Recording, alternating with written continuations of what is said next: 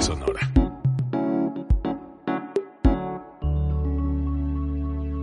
Código Libre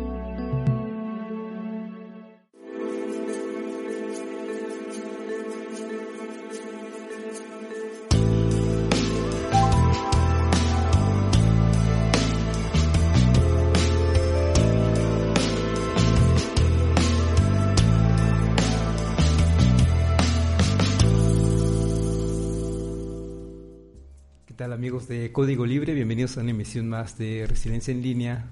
Hoy tengo el gusto de que me acompañe Tania Bañales. Hola Tania, ¿cómo estás? Hola Carlos, ¿cómo estás? Pues aquí otra vez visitándolos. Gracias. Me da mucho gusto que nos visites para que refresques este programa que de repente nos ponemos muy intensos con el asunto de política y de problemas sociales. y la, verdad es que contigo y con personas como tú es una oportunidad para respirar un poquito y no, no queremos dejar pasar un tema que eh, genera sensibilidad y que transmite tranquilidad y es simplemente hablar de música.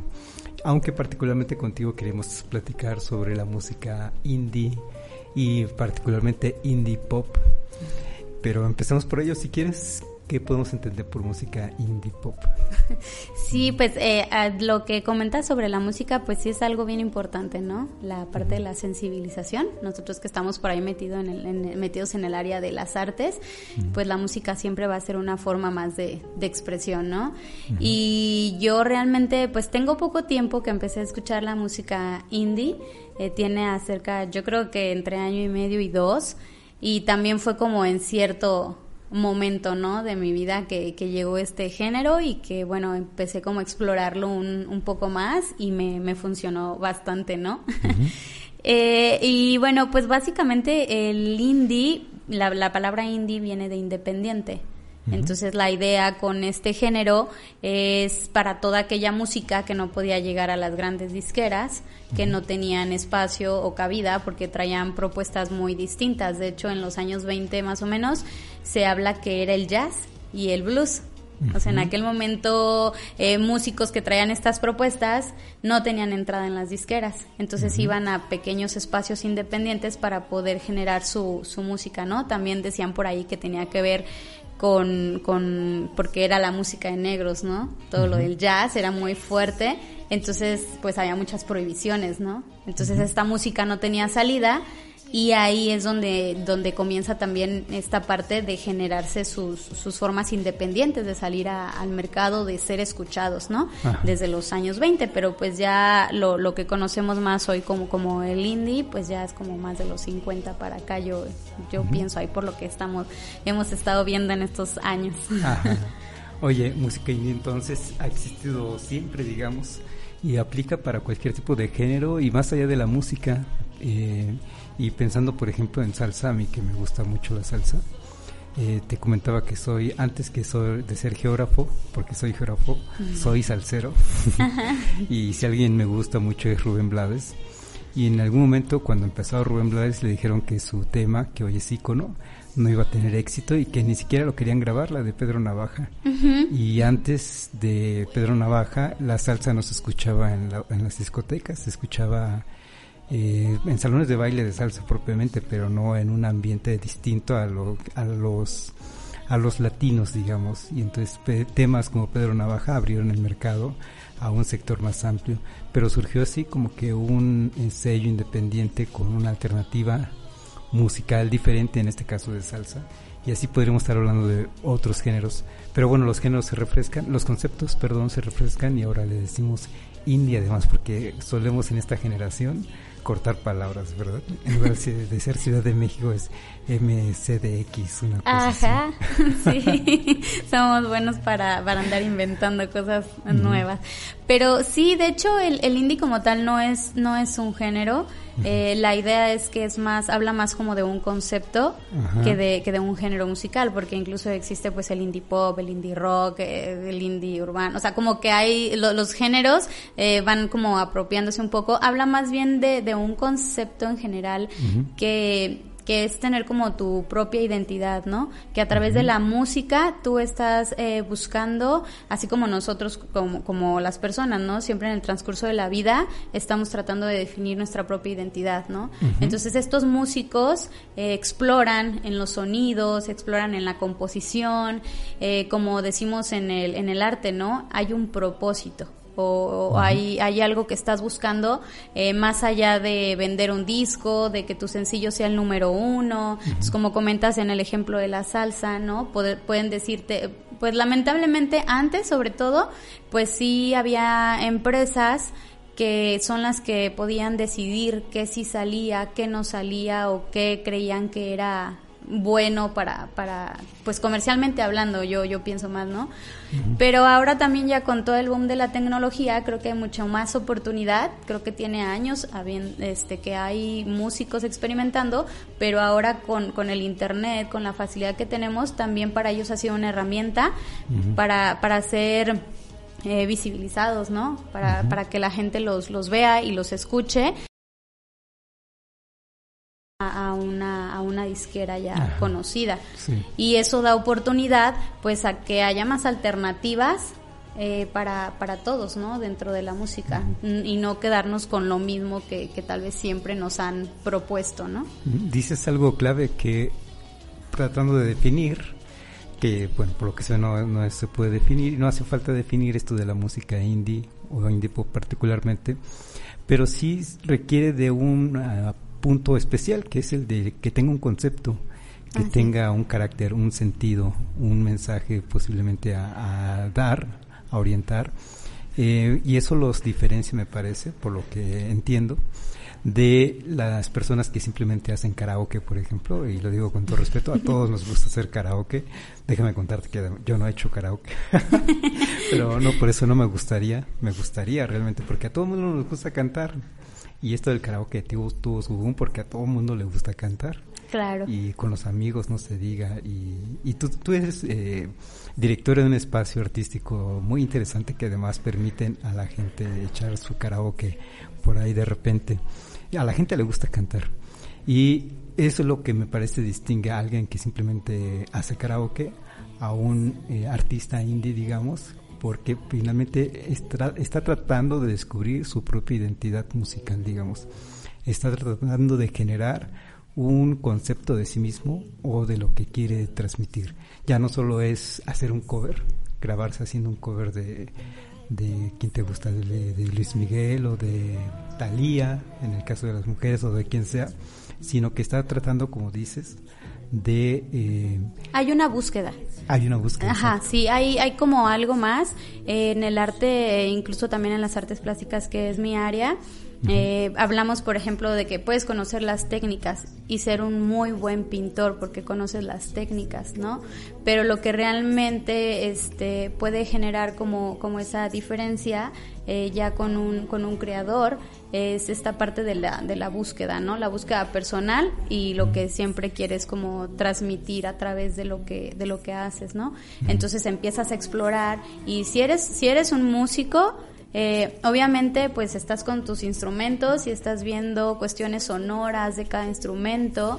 Eh, no te quedas a lo mejor solo con las bases o las técnicas que te enseñan, sino que empiezas a ver, a ver si esto lo pongo con esto eh, y si agrego esto, incluso Ahora se, se, agregó sonidos con la voz que pasa, entonces hay mucha más exploración, rango de exploración, hasta que encuentras como una línea, ¿no? Que, te define, en la que te sientes cómodo y, creo que va por ahí, ¿no? Creo que es una, es una búsqueda. Y para mí, o sea, a mí me parece más interesante eso que haya una, una búsqueda porque generas eh, una propuesta también más interesante y bueno, ya obviamente que el público la reciba o no, pues ya es, es otra cosa, ¿no? Pero al menos para ti creo que sí genera mucho más valor eh, partir de, de, esto, ¿no? O, no de las directrices que tal vez vengan como impuestas eh, por una, una sociedad o, un mercado, ¿no?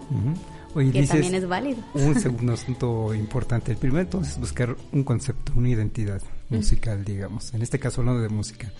Y segundo, que explores precisamente nuevos sonidos Y me pasaste una lista de que podemos recomendarla aquí en unos momentos más. las podemos compartir en, en el chat. De que se ubiquen sonidos nuevos. Y esa lista que me, que me muestras, precisamente se escuchan sonidos nuevos, pero también para... Si pudiste escuchar algo por ahí. Para darnos a entender con los amigos que nos puedan estar viendo eh, como qué grupos eh, nos está recomendando de Killers era uno. Ajá, The Creeps, también está Love Lesbians. Bueno, estos son como a lo mejor ya un poquito como más conocidos o de talla internacional, ¿no? Este, hay, existen varios, varios grupos o, solistas también, pero bueno, por ejemplo, aquí en México yo sí, van a, van a decir es súper comercial, pero por ejemplo a mí me gusta mucho Natalia Lafourcade, ¿no? Siempre he seguido un poco su carrera y, y sí pienso que a pesar de que ha tenido momentos sí más comerciales, también siempre ha buscado como cierta identidad, ¿no? Esta parte de que siempre quiere integrar como la, la música tradicional jarocha y de generar como estos sonidos nuevos con la música pues mexicana. A mí me gusta un montón, ¿no? Este, y, pero creo yo que desde aquí, no sé, en algún momento, porque yo soy 80, 90, entonces pues yo era bien popera, ¿no? Siempre era como la música popera, a todo lo que daba este, los Cabanda, Vaselina, qué, qué pena, bueno ya. Pero ahí vamos, ¿no? Yo creo que también como personas vamos encontrando, este, pues esta identidad y, y pues yo era de, de pop, ¿no? Y yo sí creo que en algún momento eh, empezó a haber como ciertas intervenciones de grupos eh, como Velanova que traían propuestas auditivas distintas y no eran tan, tan comerciales. Pero bueno, ya de ahí fue cuando yo pasé y dije, a ver qué más quiero, ¿no? Ya como que ya el pop ya fue suficiente y, empezamos a escuchar pues esta música indie, ¿no? A buscar ahí las, las reproducciones. Si se meten en YouTube, de hecho, hay muchísimas listas, incluso que son solamente sonoras, también están muy interesantes, que no son voz o que no tienen a una, o sea, al artista cantando, sino solamente generando los, los sonidos o las melodías y hay un montón, ¿no? Ahí les pasamos, ahorita pongo mi lista de Spotify y se los pasamos a los que tenemos, ¿no? Está también un, artista que se llama Siddhartha, que también sí es conocidito dentro de... Oye, para no brincar, antes, ahorita rezamos con Siddhartha, que a mí también me gusta. este, Natalia Lafourcade, que además por ahí hay un concepto de las Natalias que ya no estaría tan de acuerdo, que ponen a Natalia Lafourcade, a Mon Laferte y a... ¿A quién más? A mm, Jiménez, ¿cómo se llama esta chica? Sariñana. Sariñana, ajá. les ponen como las la Forcade y todavía meten por ahí a Carla Morrison en ese pequeño concepto. Digo, no estaría de, tan de acuerdo, me parece que estos son estilos diferentes, pero ¿qué haría distinto, como dices, a una persona como Natalia Forcade del pop al indie? ¿Cómo podríamos entender este asunto del pop? Bueno, es que de hecho ella, bueno, también como la mencionan un tanto dentro del indie pop. Pop, porque pues sí viene como de, de este rollo popular, el pop eh, significa popular. Entonces es como un género que surgió para que la música fuera más digerible, porque pues por ahí de los 60 era como el rock, y, y, el rock venía fuertísimo, entonces eh, pues no, tal vez no para todas las personas era un estilo de música como tan digerible, ¿no? Entonces surge el, surge el pop y, y era algo un poco más comercial y más fácil también de, de escucharse, ¿no? Entonces, Natalia Lafourcade sí tiene como una línea dentro de lo popular, pero creo que lo que la empezó a identificar es que pues ella sí empezó como esta búsqueda, ¿no? De su propio sonido. Las que mencionaste hace ratito, yo creo que sí, pues se comete el error de decir que son lo mismo porque son diferentes. ¿no? Porque han sido diferentes a toda la línea que venimos este, conociendo de, de artistas, sobre todo también mujeres, ¿no? Que estaban más dentro de lo que es la, la balada eh, el pop, pero, pero de balada, ¿no? Entonces surge esta nueva generación que empiezan una búsqueda distinta y a lo mejor por eso las, las catalogan como iguales, a pesar de que cada una tiene su estilo propio, ¿no? Oye, ¿y dónde ubicarías a Zoe? ¿Es pop? Eh, pues también tiene como, yo creo que sí también entra de, no, no dentro del género, pero sí dentro de este concepto indie, eh, por las, las propuestas que de musicales que tienen, ¿no? De hecho, por ejemplo, de las que mencionaste ahorita también anteriormente y que no fue tan popular tal vez, era Julieta Venegas Porque creo que fue como de las primeras en esta línea de, de, chicas que empezaron como a salir de esa línea más común del pop y comenzaron como con una propuesta diferente, ¿no? Y, y Zoe creo que también es un grupo que, es que, de hecho, hay muchísimos. O sea, yo creo que, que es muy, muy amplio y más ahorita que, que ya pues tenemos esa posibilidad, ¿no? De, de, visibilizar estos grupos o a estos cantantes o a estos músicos. Realmente la gama es muy, muy amplia. Y yo creo que cada día también la gente se preocupa más. Eh, también en el arte creo que es algo que está pasando. Ojalá que en toda la sociedad pudiera pasar de generar conciencia, porque creo que a partir de que generes conciencia de qué es lo que tú estás proyectando, con lo que tú sabes hacer, con los contenidos, ¿no? Podemos hablar desde aquí, por ejemplo, de su programa, ¿no? ¿Qué contenidos tiene Código Libre? Bueno, en algún punto eh, las personas que, que, crearon esto se sentaron a decir, a ver, es que, ¿qué le están dando a la gente, ¿no? Nosotros, ¿qué queremos darle? Entonces, dentro de la música está pasando lo mismo, ¿no? Es como ese despertar de, a ver, ¿qué estamos haciendo con la música, ¿no? Sin ofender, puro reggaetón, pues tampoco, ¿no? Entonces, ¿Qué más podemos hacer? ¿Qué más podemos, eh, yo desde donde yo estoy a través del arte, qué puedo hacer por la sociedad? Y cuando generas ese tipo de conciencia, entonces vas a trabajar desde otro lado, no por el lado de recibir dinero, no por el lado de lo más fácil, no por el lado de yo quiero ser famoso, sino por el lado de generar un cambio, un cambio en una sociedad, en un círculo en el que tú perteneces, y lo haces a través de la música, a través de la danza, a través de un programa, ¿no? Como, como este, en línea. Entonces, yo pienso que, que, la sociedad sí está comenzando a despertar y le está haciendo más cosquillitas el ser consciente de qué estás consumiendo y tú qué estás también proponiendo, ¿no? Y eso es súper importante. Entonces yo creo que hay muchos músicos, muchos artistas que están entrando en ese como en ese en ese cambiar el chip, ¿no? De hay que hacer algo más interesante. Oye, bueno, para eh, dejar el asunto de Zoe, indie o no, me parece que es un grupo que le gusta precisamente experimentar sonidos. Y hay, además de los discos que me parecen muy buenos y que veo que acaba de sacar un disco hace dos meses, hay uno de llamado Panoramas, en donde solo es instrumental, como dice, está bien, explorando sus, la parte instrumental.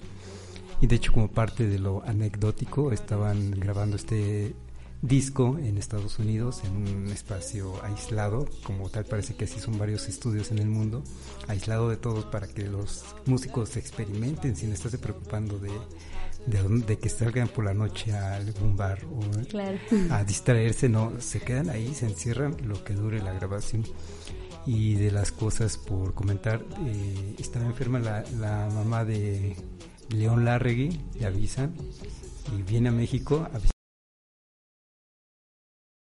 y en el avión eh, compone la canción de Arrullo de Estrellas dedicada a su mamá, que por ahí le vamos a pedir a los chicos del, a Felipe que pongan si se puede, pero no, eh, bueno, la de Rollo de Estrellas, pero como tiene letra, más bien, eh, a ver si nos ayudan con el de Panoramas, que es más bien instrumental. La, parte instrumental. Para que no nos eh, bloquee, digamos, ahí. Y para que escuchen los sonidos precisamente con los que se experimenta. De las cosas interesantes que pueden estarse viendo con la música, con conceptos como el de Zoe, como dices, no es un género, es un concepto. Y la, la parte que comentas, la de estar generando innovación, digamos en este caso musical, pero como lo dices, no solo es un asunto musical, sino que es todo un asunto social, un movimiento social donde estamos despertando conciencias. Lo podemos ver también a la inversa, así como hay eh, músicos indie, digamos que después les gusta lo pop y les proponen grabar un disco con una compañía importante y lo hacen, y luego ya se clavan en el asunto pop. Eh, también están los que están los que graban al revés, de que empiezan con una compañía importante grabando temas hasta que encuentran algo más y de repente le empiezan a dar por su línea y habrá gente que diga esto ya suena muy feo porque presente están explorando sonidos y se van por ahí por, por esos sonidos diferentes y, y que es lo que finalmente les genera una nueva identidad a esos músicos y que tiene que ver con ese cambio de chip como dices de los músicos para empezar y eso se va a transmitir tarde o temprano hacia las hacia los públicos a los que puede llegar.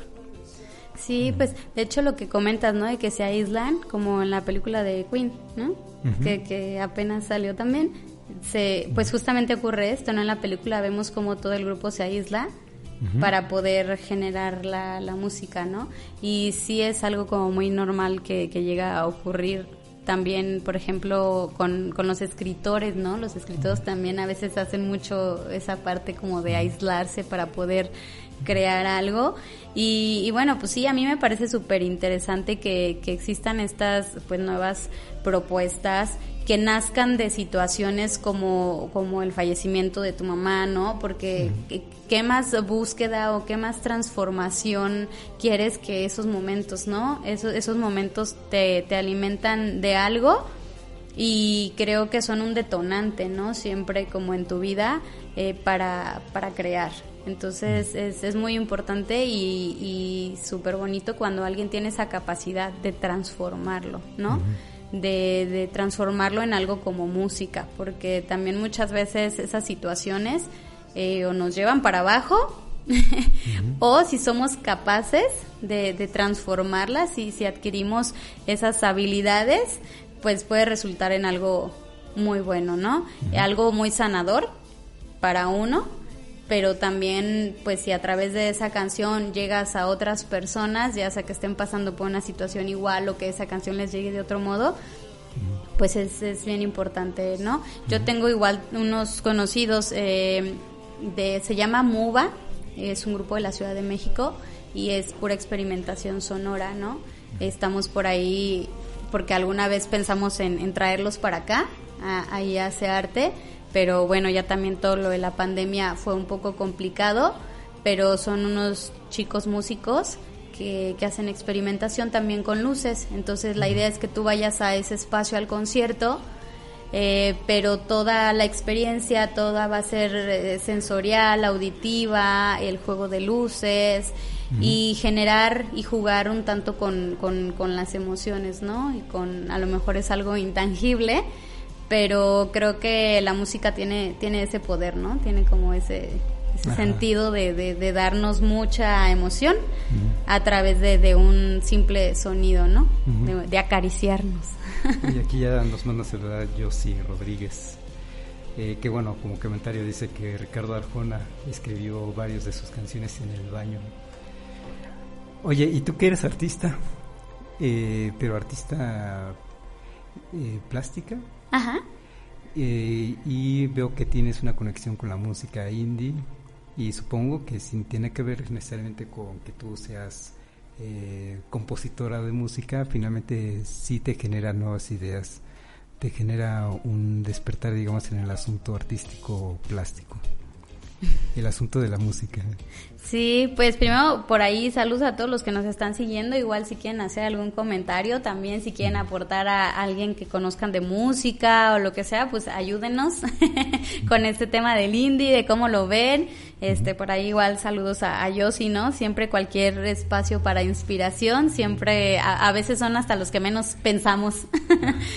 Y pues ya en cuanto mm, a mí con la, la conexión con la, con la música indie, eh, actualmente eh, yo paré un poco lo que es mi producción como artista plástico en el sentido de, de enfocarme al desarrollo del, del, centro cultural un poco. Y de hecho durante la pandemia fue que empecé a buscar escuchar la música nueva y surgió el indie, ¿no? Entonces, para mí, pues más bien fue como este proceso de, de sobrellevar como esta, estas circunstancias de que tuvimos que cerrar el espacio. Y bueno, esta música me ayudó a mí en lo particular, pues también me ayudó como a descubrirme en ese sentido, a estar un poco más tranquila con la ansiedad que generaba toda la situación y aproveché para conectar un poco con, conmigo. Yo a mí lo que me gusta más es la fotografía, la disfruto mucho. Entonces, pues más que nada fue como algo más bien personal, ponerme a fotografiar, traes tus audífonos, traes tu música y creo que a partir de ahí pues sí generas como esta, esta inspiración también, ¿no? En ciertos momentos para, para crear algo, ¿no? Ya sea para ti o ya sea que después tenga una una vía de salida. Oye, y es que tienes contacto con niños, tu trabajo es con niños en este asunto del arte. No sé si tú lo conoces, si lo consideras iniciación del arte para ellos o cómo lo concibes. Y en esto, pues también el, que estés escuchando tú estos eh, señores como The Killers o los Crips eh, o cafeína, mis cafeína, no me imagino este, diciéndole a los niños, oye, escucha cafeína. no, no, no, a veces los niños están más revolucionados todavía. Me he llevado cada sorpresa con, con, los niños, ¿no? Porque de, hace poquito me tocó con uno que escucha gorilas. Entonces dirías, hoy tienes que ocho años entonces, realmente los niños a veces también nos, nos puede como sorprender porque a lo mejor ya no es el común de que o no sepan de música o escuchan muy poca música, pero yo sí converso mucho con ellos porque incluso a veces tengo ahí mi celular y les digo, a ver, ¿qué quieren escuchar? Hoy ustedes escogen. Y de pronto me, me dicen grupos que yo ni a yo pues a ver, vamos a ponerlos, ¿no? Si les pones eh, música. Sí, les pongo mucha música. Para mí es básico que ellos estén trabajando con música y si te das cuenta, ¿no? De pronto este, les pones ya si están demasiado tranquilos, pero tan tranquilos que de repente ya siento que se me duermen, ¿no? Entonces cambia, pon otra cosa, ¿no? Y les he llegado a poner la música indie ah, y de pronto sí se generan como cuestionamientos, ¿no? ¿Y esa música de quién es? ¿Y eso qué es, no? Y, y, me ha pasado a mí con ellos, porque hay días en los que yo les digo, ahora es música libre y ustedes escogen. Sí, hay días que pues ponen de repente digo, ay no, eso no lo vamos a poner, hoy no lo brincamos. Pero también me sorprende porque sí tienen su particularidad ellos, tienen su personalidad y hay cosas que de hecho yo así ya guardo en mi listita. Ay, como que esa me gustó, a ver, lo voy a buscar en el Spotify y lo agrego a mi lista, ¿no? Y es una recomendación pues de, de los chiquitos, ¿no? Entonces sí hay chicos que escuchan muy, muy buena música también, aunque estén pequeños. Entonces sí hay música en tu concepto de trabajar con niños, sí hay música. Sí, sí, básica. De hecho ahí... Eh, en arte también hemos procurado en la cafetería pues tener una ambientación. Nos ha costado un poco de trabajo encontrar qué tipo de música poner, ¿no? Porque yo decía que no quería música tampoco tan comercial o tan popular. Entonces pues ahí iba indagando. Eh, yo creo que de las primeras veces que nos acompañaste tú también ponía mucha música cubana. No sé si recuerdes. Eh, ponía un poco de salsa, de música cubana, algo también mexicanón. Entonces, pues hemos ido como probando diferentes cosas. Eh, hasta que, pues sí, encontrábamos que la misma gente nos decía, oye, qué chida música tienen, oye, la música está bien padre, es que el ambiente se siente bien chido con esa música, ¿no? Entonces fuimos encontrando esas pautas y es bien interesante porque muchas veces las personas tal vez no lo habían escuchado, llegan, lo escuchan y se vuelve algo particular del espacio, ¿no? Y para nosotros pues es importante que, que sea algo que, que, esté transmitiendo, ¿no? que, que, te dé otro mensaje. Y, y, bueno, pues qué mejor ahí, ¿no? En, en la café pones la musiquita y yo en mis clases pues es básico, ¿no? Creo que además de que hagamos artes plásticas, ahorita ya hay un concepto mucho de trabajar de manera integral. Entonces tienes que, meter arte y al mismo tiempo metes la música y al mismo tiempo metes danza. Y toda esa parte también viene muy experimental, ¿no? Es lo mismo que hacen o que propone como lo, lo indie, ¿no? El a ver, ¿y qué pasa si hago esto y si jalo este y este lapicito qué ruido hace en mi escritorio y empezar a, a experimentar, ¿no? Y en el arte también ahorita hay mucho mucho de eso, ¿no? En los espectáculos, el integrar también este otro otro tipo de, de, danza o, de la musicalización de lo que estás viendo, viviendo o experimentando en ese momento, ¿no? Nosotros de hecho ahorita vamos a tener un curso de verano en el que los niños cada día este tienen experiencias diferentes, ya sea con música, con danza o con teatro, ¿no? Entonces es integrarlo todo. Oye, aquí también mando saludos After Alejandro diciendo que Casabian también está chido. Otra recomendación, gracias, no. Lo escucharemos, yo también con ustedes estoy conociendo, contigo estoy conociendo a estas personas. Ya ubicaba a, eh, comentabas Siddhartha, por ejemplo, ¿no? Oye, yo no sé si te gusta Mon Laferte y no sé si a, los amigos que nos estén escuchando les pueda gustar, pero a mí me gusta su concepto también. Yo le escuchaba un poquito más cuando inició que ya cuando fue más boom. Pero sí la sí le escuchaba. Y fíjate que le tocó ser ya un boom, como dices, y después viene uno de, bueno, el penúltimo disco me parece, si no me equivoco, el de Norma. El concepto me gusta de ese disco porque dice que lo grabó de una sola pieza, como se hacía antes. Eh, se empieza grabando y se termina sin estar grabando con músicos por separado, digamos, y de una sola pieza, digamos, no está repitiendo hasta que salga bien, con la intención, dice, de de cierta manera reconocer a esos eh, artistas indie independientes que inician y que así, así lo hacen en su casa, digamos, así lo hacen en su pequeño estudio improvisado, que graban con sus propios medios sin esa gran compañía disquera, pero que están haciendo cosas interesantes y que los podemos encontrar parte de la maravilla también de este asunto de la, del internet es que si algo podemos decir es que sí hay para algunos aspectos que se democratiza y en este caso no es la excepción porque músicos que no conoceríamos de otra manera los podemos conocer gracias a, al internet y ahí podemos estar buscando estos artistas que comentas y otros más. Sí, también creo que otro muy conocido es Arctic Monkeys, así también por ahí lo han escuchado. Eh, también ellos, ellos sí ya son muy, muy conocidos, pero pues también tienen muy buenas propuestas musicales. Entonces hay muchísimos grupos ya y con la facilidad de, del internet, incluso hasta los medios para grabar ya son más accesibles. O sea, me parece que ya ahorita este, hay, hay mucha accesibilidad a eso y como dices tú, te puedes hacer como tu, tu, tu estudio en tu casa y empezar a hacer pruebas y me parece que también de pronto ya... Mmm, las personas igual y no podríamos no ser tan exigentes en ese sentido, ¿no? Y nos damos esa oportunidad de escuchar, aunque no sea el super disco grabado en tal lugar, eh, sí en las plataformas puede uno encontrar eh, tan fácil como subir tu video o tu música a YouTube y lo encuentras y te das la oportunidad y a lo mejor vas a ver que tal vez haya ciertos errores, pero estás escuchando propuestas nuevas, ¿no? Entonces yo sí creo que el Internet es algo fabuloso en ese sentido porque puede darle salida a todas estas personas que están que están experimentando con la música. Oye, también me gustaría recomendar, no sé si está en parte de lo indio o no, pero a De Chamanas, ¿te suena? Que por ahí también le voy a pedir a los amigos del staff que si nos pueden poner alguna de, de Chamanas. hay una que me gusta, Ramas, bueno, hay varias que me gustan de ellos, pero una es Ramas. Eh, para ver si les puede gustar a los amigos que nos estén escuchando. Pero de, músicos mexicanos independientes, ¿qué otros puedes hablar?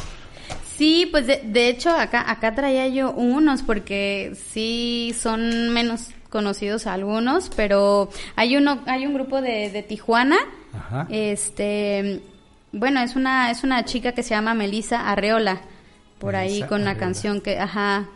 A ver si también nos ayudan para poner algo de ella. Sí, Melissa Arreola, con Déjanos ir.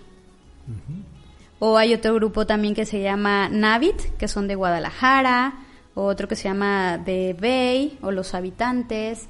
Esos son, pues, aquí, grupos mexicanos, a lo mejor no tan, no tan sonados, no tan escuchados y que también traen como muy buenas propuestas. Oye, y en esta ciudad donde tienes tu centro cultural. ¿Te ha tocado escuchar un concepto musical que valga la pena? Eh, aquí local, no, local no me ha tocado escuchar. Eh, sé por ahí que, que, mm, por ejemplo, hay unos chicos que se llaman Flor de Lirio, que creo que estaban empezando a querer experimentar. Ellos tenían básicamente lo que es el, el son jarocho o lo que es aquí como el, el, pues tocan jaranas, traen un cajón, traen guitarra entonces música tradicional, pero las pirecuas, entonces, me parece, ellos los invitamos ahí a hacer arte y en una parte final de su concierto sí nos hablaron de que estaban buscando como ciertas tendencias nuevas de musicalización de lo que ellos hacen. Entonces, probablemente sí estén trabajando en ello y eso está bien chido y alguien más aquí en, en, la esfera local, no, estaría interesante que si alguien está trabajando en ello, pues también por ahí nos manden un mensajito. que se acerquen sí, a ti para que... yo creo que les abrirías un espacio para que... Sí, sin duda, sin duda es el espacio es, es para todo eso, ¿no? Todo ese tipo de muestras y si alguien está trabajando en, en, esos conceptos, claro que podemos ser una plataforma para, para impulsar, ¿no? Lo que, lo que estén haciendo. Porque este asunto del karaoke es, puede ser un acercamiento. Te iba a preguntar hace rato, esto de la música independiente o la música en general, ¿es asunto de músicos o no necesariamente? pero me parece que un acercamiento que puede tener cualquier persona es el karaoke, echarse unos, unas canciones, unos palomazos un viernes con los amigos. Y de repente puede ser que a esta persona le guste escribir algo y ya de, repente la puede estar cantando y, y se puede estar acercando con alguien que toque una guitarra o que toque el saxofón o que toquen algo, se juntan y ya puede estar sucediendo ahí algo interesante. Sí, creo que, creo que sí se puede dar, o sea, puede ocurrir, ¿no? Me parece que el, el, el, karaoke sí es algo más, eh, pues como de entretenimiento, como de echarte el palomazo, y porque en, la mayor parte, pues los que no cantamos, ahí nos sentimos como que sí cantamos, tantito, pero pues en realidad en el karaoke lo, lo, usamos incluso las personas que no, que no tenemos como, como la voz o esos dones, ¿no? Yo pienso que ya las personas que se meten a experimentar con la música es porque sí tienen cierto conocimiento, ya sea en lo que es la voz, que conocen sus alcances vocales y pueden entonces estar buscando, a ver, ya llegué y yo creí que esto era lo que podía, ¿qué más puedo, no? Entonces empiezan a buscar, ¿no? En, a explotar su, su voz y al igual que los músicos con los instrumentos. ¿No? Sí, sí hay como una línea de partida tal vez. eh, el karaoke, pues ahí nos, ahí nos lo vamos a echar en el, en el café. Y, pero sí pueden surgir, sin duda sí pueden surgir ensambles, porque también nosotros hay un chico que se llama Fernando, que hace poquito también fue y dio un concierto con el saxofón, él es un músico. Este, estuvo incluso también por allá en, en Cuba un tiempo y ahorita pues está ahí con nosotros eh, con algunas propuestas para, para poder generar eh, más música ahí en, en Searte, ¿no? Entonces él toca el saxofón, el clarinete, el piano, la batería, o sea, pues como de todo.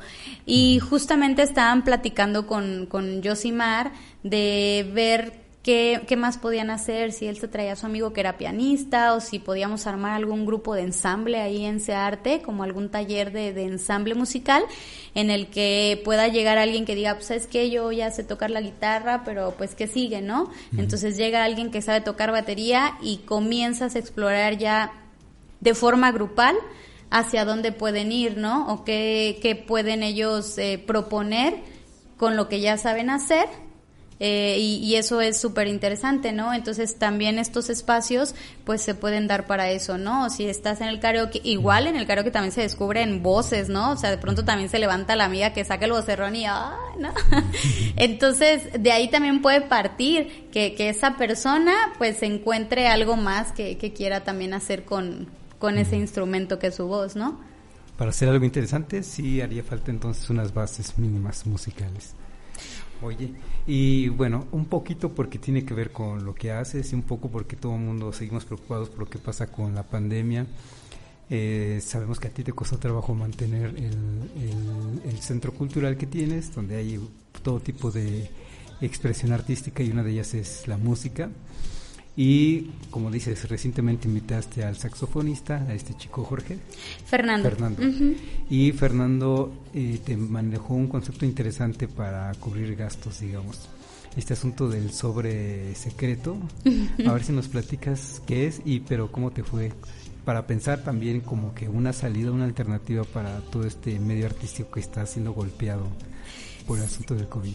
Sí, pues sí ha sido muy complicado para todos, pero pues hemos seguido trabajando en ello y con Fernando lo que lo que hicimos que ya habíamos, ya lo habíamos hecho anteriormente con un chico que canta ópera que nos visitó de la Ciudad de México, eh, que fue manejar unos sobres que se dejan en la mesa para todos los que asistan. El concierto es gratuito, ustedes pueden entrar y disfrutar del concierto y al final si pues ahora sí que nosotros lo, lo proponemos de manera de que si, si tú lo disfrutaste eh, si valoras ese, ese instante o ese momento que tú viviste ahí esa hora y media con la música que tú puedas hacer una aportación voluntaria ¿no? Entonces, de esa manera, pues tú dejas tu aportación en el sobre y todo lo que llega a, al sobre, todo se va para el músico. Sí, todo, todo es, el, el 100% se le entrega al, al músico.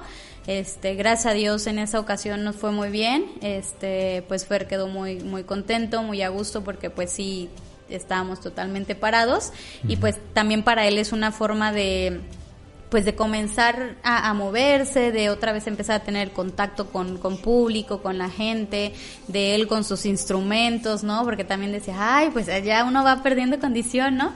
Entonces es importante. Igual ayer platicaba con eh, una señora de un ballet folclórico, que las estamos invitando también, me dice, es que no hemos ensayado, es que hemos estado paradas un año, entonces, eh, pues la idea es comenzar a, a moverlos, pero como también para nosotros ha sido difícil pues encontrar estas estrategias en donde pues ellas sí puedan tener como esta remuneración y que no se vea tan afectado tampoco el centro cultural ahorita en, en su etapa de, de recuperación.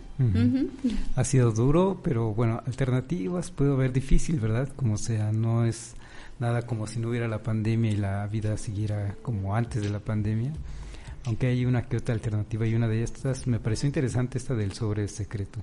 Sí, pues ahora sí que andamos también reinventándonos, ¿no? Encontrando las estrategias, eh, buscando cosas nuevas también.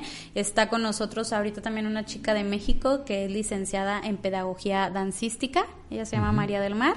Y pues ella también está trabajando en conjunto con nuestra maestra de danza, que ya tiene tiempo ahí, eh, por parte de Cultuarte, que es Noemí Ávila, Mimi y están ellas trabajando de hecho en, en, una, en una puesta en escena, están ensayando. Entonces sí ha sido complicado, pero creo que pues estamos también partiendo de eso para, para reinventarnos, ¿no? Ahora sí que le vamos a buscar como, como en el indie nuevas alternativas de experimentar y formas de llegarle al público y de que se acerquen, ¿no? Ahora de que han estado ensayando ellas y van mis niños a clase, ¿y qué están haciendo esas muchachas? Les digo, es danza contemporánea. Eso no es danza. Entonces, eh, eso es lo interesante, ¿no? Acercarlos y que comiencen a, tener como, como esa visión distinta de, del arte también y de todo lo que pueden explorar a través de, del arte o de, estar ahí en el espacio. Esperamos también pronto salir a otras comunidades o colonias, pues ya que podamos... Porque estamos diciendo que trabajas con niños y resulta que los niños estaban guardados en casita y que los papás no los llevaban a, hacer arte ni a ningún otro lado. sí, no, a ningún lado, pero ahorita que empiezan ya a ir, solo estamos dando pocas horas, pocos días, pues sí, ellos también traen un montón de cosas guardadas y les funciona les funciona bien. Qué bien, qué bien, es un asunto noble para los niños precisamente, que estén viendo como una alternativa el que para empezar un asunto plástico después un asunto como la danza un asunto como el canto, en fin. Sí, de hecho también incluso pues eh, como en, en, la, en, el área de la música, ya también esta semana se reactivó el, el grupo que tenemos, eh, entró una chica que está tocando la, bueno, ella va a empezar con guitarra eléctrica porque pues dice que le llama mucho la atención, entonces es algo totalmente nuevo y para, para ella pues también va a ser como, como ese medio de, de salida ya, ¿no? La guitarra eléctrica. Tenemos otra persona que por ejemplo nos dijo que que durante todo este tiempo pues vio muchos familiares, ¿no? Que, que, de pronto los perdieron y así, y que se quedó pensando en muchas cosas que él no había hecho y siempre ha querido hacer. Entonces entró a las clases de guitarra y como decíamos ahorita, ¿no? Esta, a lo mejor eh, no como ya los grandes conocedores de música empiezan a experimentar, pero para él también es una experimentación diferente, ¿no? A partir de esta circunstancia del COVID, eh, como él empieza a trabajar con, con la música, ¿no? Con la guitarra. Entonces también eso es bien, bien importante, ¿no? Que, que, que, la música tenga un propósito para ti, no es ir a aprender solo la técnica, ¿no? Porque también eso pasa.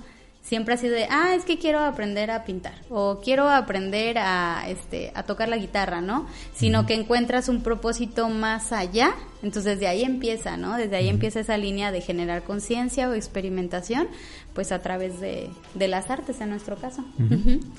Tania, nos estamos yendo. ¿Algún asunto más de recomendación de música indie? Escuchen música indie, busquen de lo que sea, pongan en YouTube, en Spotify, en cualquiera, ahora sí que cualquiera que sea la plataforma que utilicen de música, eh, búsquenla, eh, hay muchísimas opciones y está bien padre empezar a escuchar cosas, cosas distintas, cosas, este, pues otra alternativa, ¿no? A la, a la música. Por ahí también los chicos de cabina conocen, entonces ya nos pondrán también alguna recomendación. Y aunque ahorita se acabe el programa, síganlas poniendo ahí en los comentarios para que compartamos un poco, ¿no? Porque también eso está, está padre, ¿no? Que, que podamos compartir, porque a lo mejor si tú no conocías eh, esta parte, la conoces, ¿no? Y creo que de esa manera nos nutrimos más. Bueno, y oye, y si alguien está haciendo por ahí algo creativo, no solo música, sino otras expresiones artísticas que se acercan contigo y seguramente van a hacer algo interesante. Claro. En Searte, así que ya saben, en Searte pueden buscar a Tania Bañales, que además siempre es un gusto recibirla en este programa. Ya es nuestra segunda ocasión y ha sido muy lindo tu visita aquí, así que esperemos que se repitan otras veces más. Sí, claro que sí, pues también están invitadísimos cuando gusten. Searte su casa, es la casa de todos y gracias por invitarme. Gracias a amigos por habernos acompañado. Fue Tania Bañales quien nos acompañó. Gracias como siempre a, Felipe, a Gerardo, a Jaime y pues nos vemos la próxima. Por aquí les vamos a dejar una lista más de los posibles artistas que les pueden estar gustando. Alguien que me gusta mucho es Nora, Nora Jones y, así que también lo vamos a estar recomendando. Vamos a escribírselas por aquí también. Yo traía mi super lista, entonces aquí se los vamos a poner. aquí se las dejamos para que los busquen a Melissa, Arriola, Siddhartha, a Hello Seahorse, que nos está recomendando sí. Tania a Miss Cafeína. Hay unos que te voy a confesar, no, no me entran todavía, todavía, es cosa de escucharlos un poco más. Son unos sonidos de veras diferentes. ya los estaremos escuchando con más atención. Pero bueno, gracias, gracias Tania y nos vemos la próxima. Gracias a ustedes y gracias a todos los que nos acompañaron.